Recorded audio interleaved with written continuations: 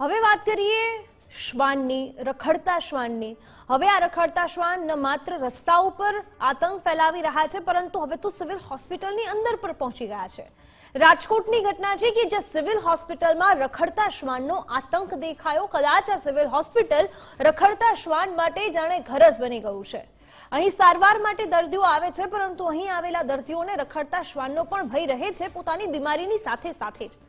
આમ તો સિવિલ હોસ્પિટલમાં સિક્યોરિટી પાછળ લાખો રૂપિયાનો ખર્ચ થાય છે, જ્યારે એ આપણે તમામ ખર્ચ કાઢવા બેસીએ તો. પરંતુ આ પ્રકારની જો સિક્યોરિટી હોય તો પછી આ લાખો રૂપિયાની સિક્યોરિટી અને ખર્ચો છે કોના માટે? આ એક રાજકોટ જ નહીં, વડોદરામાં પણ આ પહેલા આવા જ આવા જ, આવી જ ઘટના સામે આવી. એસએસજી હોસ્પિટલમાં અને અહીંયા તો હદ થઈ ગઈ. કે અહીંયા જે ભોજન બનાવવામાં આવતું હતું એ આરોગતા શ્વાન દેખાયા. ત્યાં સુધી કોઈને ખબર પણ ન પડે અથવા તો આ સિવિલ હોસ્પિટલ, આ તંત્ર ત્યાં શું કરી રહ્યું છે કે જ્યાં દર્દીઓની સુરક્ષા માટે દર્દીઓ આવતા હોય છે, પોતાના સારા સ્વાસ્થ્ય માટે દર્દીઓ આવતા હોય છે. પરંતુ અહીંયા તો સ્વાસ્થ્યની વાત તો દૂર દૂર છે સાફ સફાઈની વાત તો દૂર દૂર છે, પરંતુ અહીંયા તો રખડતા શ્વાનનો આતંક આટલો હદે વધેલો છે કે જે આરોગ્ય પ્રદ હોસ્પિટલો છે કે જે આરોગ્ય માટે આવતા હોય છે લોકો, ત્યાં શ્વાન એમના ખોરાકમાં પણ મોઢું મારે છે.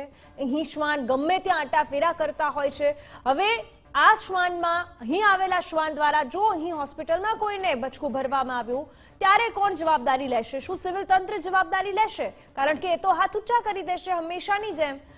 ગૌતમ અમારી સાથે જોડાયેલા છે અને ગૌતમ, કદાચ રાજકોટ કે કોઈ પણ શહેર કે સિવિલ હોસ્પિટલમાં આવું પહેલી વાર તો નથી જ બન્યું કે જ્યારે શ્વાન આવ્યા હોય.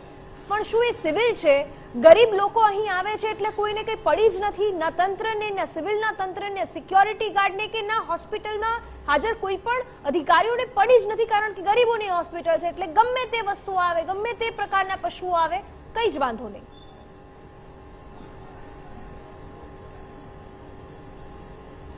ચોક્કસ ખૂબ જ ગંભીર બાબત છે.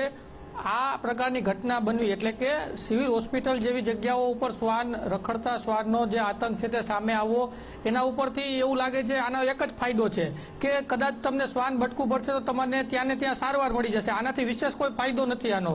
હવે વાત કરીએ જે રાજકોટ સિવિલ હોસ્પિટલ તંત્રની, તો ત્યાં અનેક બેદરકારીઓ છે તે અગાઉ પણ સામે આવી છે. ચાહે તે સ્ટ્રેચરની કમી હોય, સ્ટ્રેચરની કમી નથી, પરંતુ સ્ટ્રેચરનો સદુપયોગ નથી થતો એટલે અમુક દર્દીઓ છે તેને આ સ્ટ્રેચર ઉપયોગમાં નથી આવતા અને તેના લીધે અનેક દર્દીઓને હાલાકી ભોગવવી પડતી હોય છે. હવે આજે જે વીડિયો સામે આવ્યા છે, સિવિલ હોસ્પિટલની અંદર જ શ્વાનનો આતંક સામે આવ્યો છે.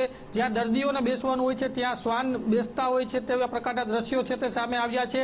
હવે મોટી વાત એ છે કે જ્યારે લોકોને શ્વાન બચકું ભરે ત્યારે તેને હોસ્પિટલ ખાતે દાખલ કરવામાં આવતા હોય છે, ઇન્જેક્શન લગાવવામાં આવતા હોય છે, પરંતુ આ તો જ્યાં સારવાર કરવાની હોય છે, ત્યાં જ શ્વાન છે.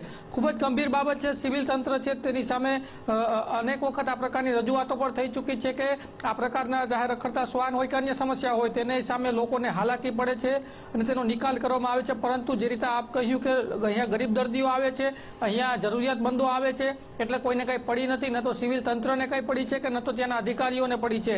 નહીતર આ પ્રકારની પરિસ્થિતિ ન હોય કે અનેક વખત રજૂઆત છતાં આ જ પ્રકારનું પરિસ્થિતિ છે, તે જોવા મળે છે. અતિ બિસ્માર હાલતની અંદર રાજકોટ સિવિલ તંત્ર છે. એક તરફ નવું બિલ્ડિંગ છે, જ્યાં ખૂબ જ સારી ટેકનોલોજીને સારવાર માટે ખૂબ જ સારા રૂમ સહિતની સુવિધાઓ છે, પરંતુ જ્યાં સુધી યોગ્ય કામગીરી નહીં થાય, જ્યાં સુધી સ્વચ્છતા હોય કે આ પ્રકારે કૂતરાઓ શ્વાન છે તે આટાફેરા કરતા હોય, ત્યાં સુધી સિવિલ તંત્ર સુધરે તેવું નથી લાગતું. જી.